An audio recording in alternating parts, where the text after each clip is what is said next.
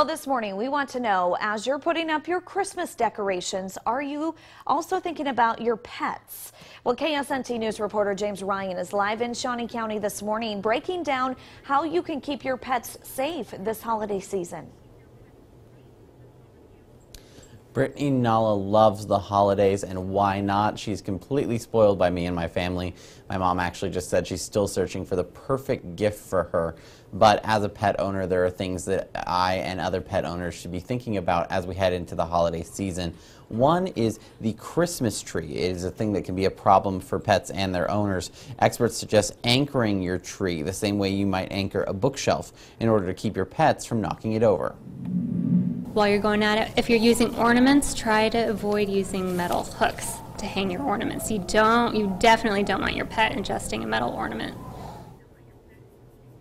Kathy Maxwell at Helping Hands Humane Society suggests using string instead of metal hooks, although you still need to watch your pets around the string.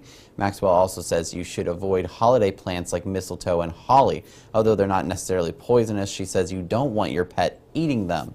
And if your pet does ingest something they shouldn't, Maxwell says you should call your vet immediately. Now, another holiday tradition you might want to leave in the history books if you have a pet is putting food on your tree, like stringing up popcorn.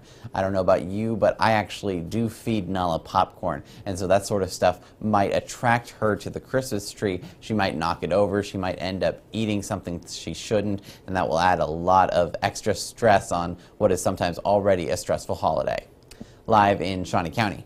James Ryan, KSNT News. Great things to keep in mind during the holiday season. Thank you, James, for those details. Now, Martha Stewart suggests leaving your Christmas tree up without the ornaments and decorations for three full days. And this will give your pet some time to explore the tree a bit before you then start decorating. And hopefully they won't be quite as interested once the decorations do go up.